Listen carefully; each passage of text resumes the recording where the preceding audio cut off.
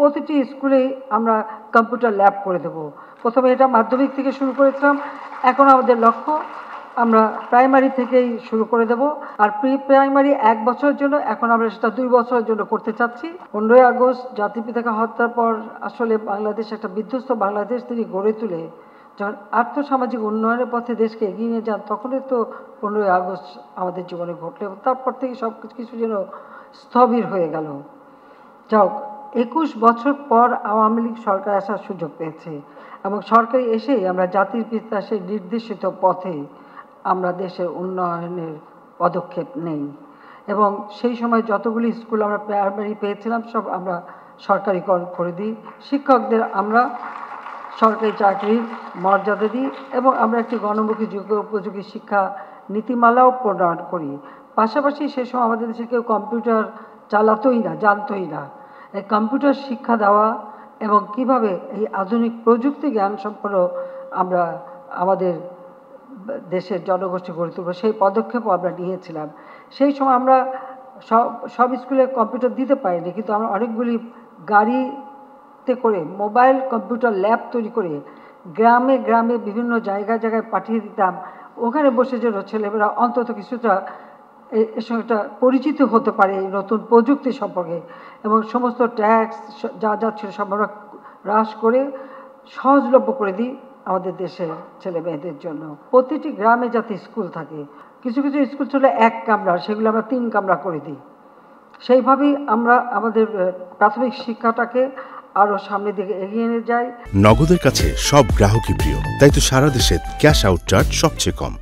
কয়েকটি গ্রাম মিলে একটা জায়গা করলে যেন সব গ্রামের লোকরা কাছাকাছি ছেলেমেয়েরা পড়াশোনা করতে পারি, সেই পদক্ষেপ নিয়েও আমরা এই স্কুল প্রতিষ্ঠা করা শুরু করি।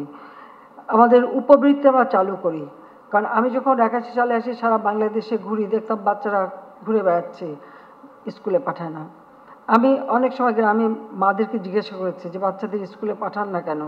তারা বলছে, স্কুলে পাঠায় কী হবে? যদি একটু কাজ করে তো অন্তত দশটা টাকা তো কামাই করে আনতে পারে। তা আমি জিজ্ঞেস করতাম যে, আমি যদি সেই টাকাটা দিয়ে আপনি স্কুলে পাঠাবেন আপনার ছেলে মেয়েকে? তো গ্রামের মানুষ কিন্তু খুব বেশ ভালোভাবে, খুব শক্তভাবেই কথা বলে। যখন আমি জিজ্ঞেস করলাম যে, আমি যদি এই টাকাটা দিয়ে দিই, তা আপনি কি আপনার বাচ্চাকে স্কুলে পাঠাবেন? আমাকে সোজা উত্তর দিল তাই পাঠাবো না কেন? তাই পাঠাবো না কেন? তা আমি বললাম, ঠিক আছে, আমি যদি কখনো যেতে পারি ক্ষমতায়, অবশ্যই আমি এই ব্যবস্থা করব, কিন্তু আমার বাচ্চাদের স্কুলে পাঠাতে হবে।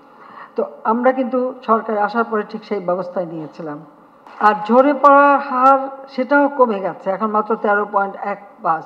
এবং সেই সাথে আমাদের যারা বিশেষ চাহিদা সম্পন্ন শিশু, তারাও যাতে একই সাথে পড়াশোনা করতে পারে।